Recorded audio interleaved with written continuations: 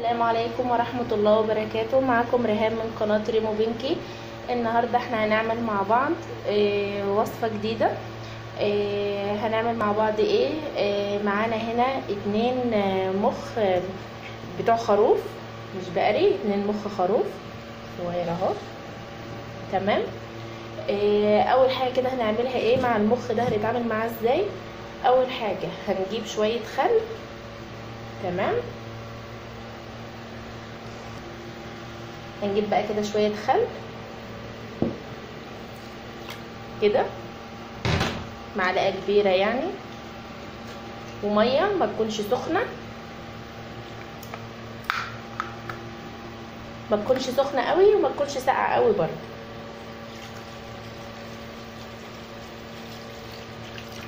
وهننقعه فيها شوية حوالي ربع ساعة عشر دقايق كده بالكتير. ننقعه في المية والخل دي وبعدين نشوف هنتعامل معاه إزاي. بقى كده في حلة على النار. هنفضي كده في الحلة شوية مية.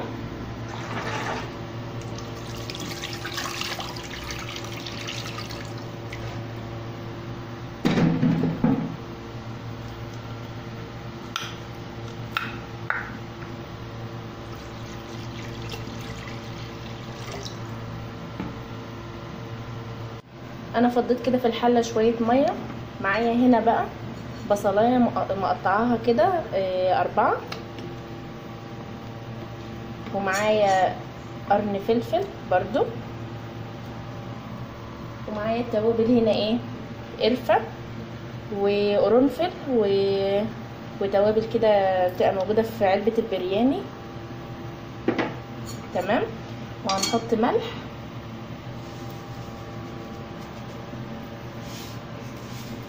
كده. وفلفل أسمر.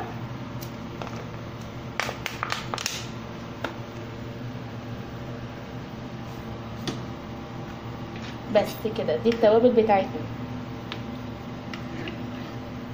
خلاص هنسيب بقى دلوقتي المية دي تغلى. أول ما تغلى كده على طول هننزل فيها المخ. يا دوب ياخد له عشر دقايق ربع ساعة بعد ما المية تغلي على طول. تمام؟ نسيبه كده المية تغلي والبانيه يتنقع في المية والخل وبعدين نشوف إحنا هنعمل إيه. كده المية غلت معانا هنعمل إيه؟ هننزل بقى فيها المخ. بس كده. نتعامل كده مع المخ بالراحة لأنه طري جدا. هنسيبه كده في المية دي ربع ساعة وبعدين نخرجه. كده أنا طفيت عليه هنطلعه بقى.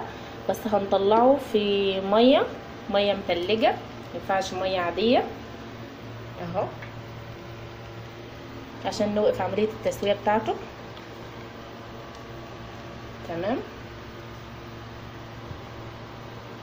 هو طبعا رقيق جدا يعني التعامل معاه يبقى بحرص كده.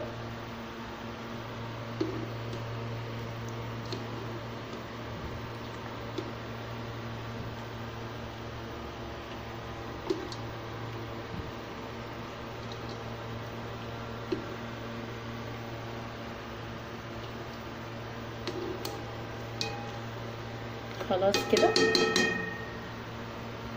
خلاص كده نسيبه بقى في المية المتلجة دي شوية.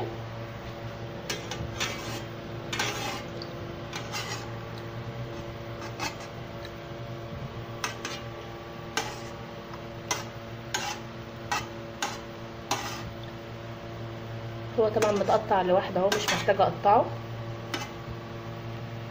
تمام؟ معانا هنا إيه بقى؟ أنا معايا هنا دقيق. تمام؟ ومعايا زبادي. أهي. ومعايا هنا بقسماط على دقيق. خلاص؟ ومعايا هنا التوابل ملح وفلفل أسمر وجنزبيل. دي التوابل بتاعتنا بس. ومعايا هنا مية بصل. أنا عملت بصلة صفيت التفل لوحده. أهو. وسبت المية لوحدها. أنا محتاجة بس مية البصل. تمام؟ هنعمل إيه دلوقتي؟ هنضيف على مية البصل دي زبادي. معلقة كده كبيرة من الزبادي.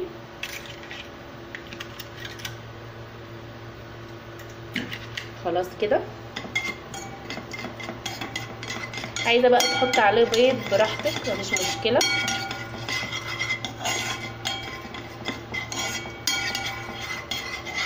خلاص كده. وفلفل أسمر. تمام؟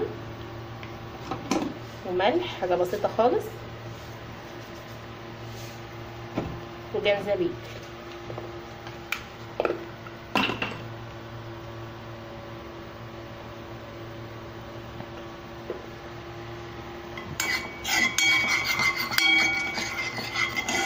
طبعا هي الكميه قليلة لأن المخ صغير أصلا فمش عاملة كمية كبيرة. على قد الموجود عملت الكمية. تمام؟ هفضي بس أنا كده المكان عشان أعرف أشتغل. حاجة بقى كده إحنا هنعملها. هنجيب كده المخ. نحطه هنا بقى. بعد ما سيبناه كده شوية في المية الساقعة.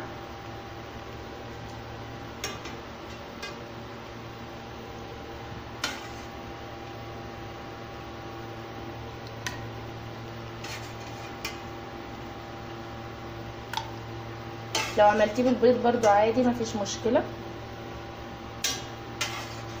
في ناس بتحب تحط على التتبيله بتاعت البانيه زبادي أو لبن أو بيض اللي متوفر عندك حطيه.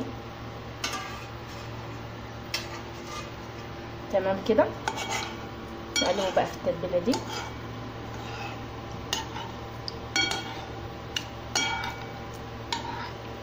هو طبعا واخد بقى من ريحة الفلفل والبصل اللي كان بيستوى فيها عادي يعني.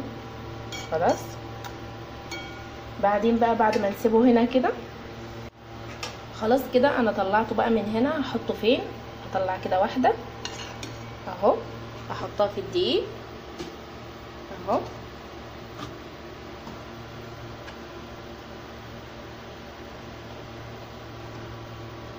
وبعد دقيقه هنزلها تاني في التتبيلة.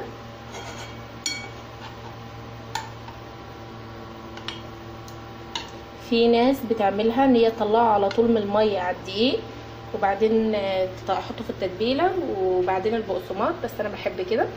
أنا كده طلعته من الدقيق حطيته في التتبيلة بعدين حطيته في الدقيق بعدين حطيته تاني في التتبيلة عشان يبقى فيه طبقة جامدة وبعدين هحطه في البقسماط. تمام؟ لما طلعتيه بقى وسبتيه على في المية التلج مسك نفسه اهو شوية. أول ما طلع طلع كان كان بيتفرفت كده. خلاص كده بقى. تمام ادي أول واحدة. تاني واحدة بقى. اهي. هطلعها بقى احطها هنا في الدقيق.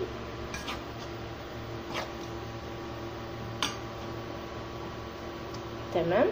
وبعد دي أرجعها تاني. ممكن تسهلي على نفسك عادي لو عايزة تطلعيه في الدقيق على طول بعدين على التتبيلة وبعدين البقسماط عادي. أنا بعمل كده البانيه دايما سواء بقى مخ سواء بانيه فراخ أي حاجة. تمام؟ خلاص كده. أهو. نفس الطريقة دي بقى هكمل الباقي وأرجع لكم. أنا عملتهم كلهم أهو. تمام؟ تاني حاجة بقى هنعملها إيه؟ معانا طاسة كده. أنا شغلت البوتاجاز هحط فيها زيت عشان بقى نقليه أهو. لازم الزيت يكون سخن جدا ما ينفعش تحطي أي حاجة في البانيه إن سواء بانيه فراخ أو أي حاجة والسخن يكون أو الزيت يكون بارد أو دافي لازم سخن وبعدين انت بتهدي النار بقى بعد كده عادي. تمام؟ هسيبه بقى كده يسخن بعدين نشوف هنعمل إيه. كده يا جماعة الزيت سخن ننزل فيه بقى البانيه. بسم الله.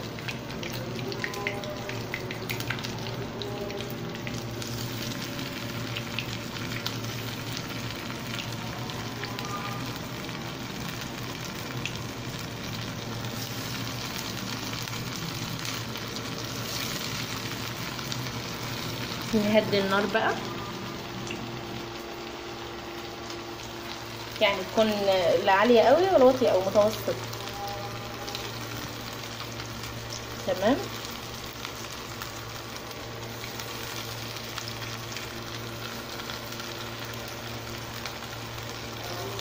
خلاص كده؟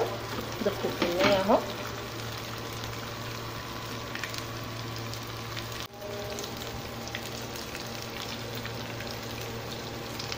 آه لو حد سألني آه ليه ال- البقسماط أصفر قوي كده؟ ده مش بقسماط. ده أنا جيت أدور عندي ما لقيتش البقسماط لقيته خلصان. ولقيت برضو العيش مش هينفع لأن أنا عندي شباتي مش عيش. فقمت جايبة corn flakes وقمت فرماه طحناه كده. وال corn flakes أصفر فهو اللي عامل ال- اللون الحلو ده. تمام؟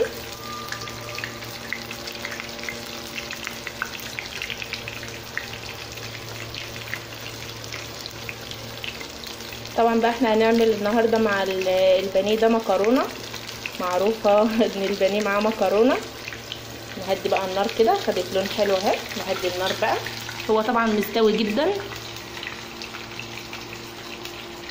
لأن ال- المخ ما بي يعني ما بياخدش وقت كبير في السوى ده بيستوي بسرعة جدا. خلاص. هسيبه بقى لما يستوى. يعني ياخد لون كده ويبقى شكله حلو. واوريه لكم إن شاء الله في الآخر. كده البانيه جهز معانا. نشوفه بقى حلو ولا وحش. أهو. أهو. جميل أهو.